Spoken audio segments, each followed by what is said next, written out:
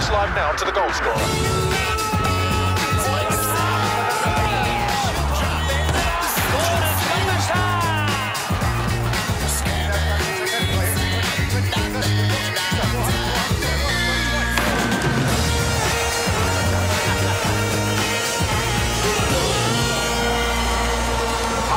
Welcome to the match. This is the Emirates Stadium.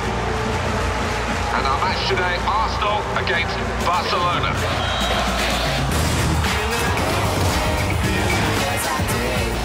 FIFA 13, out September 27th on PlayStation.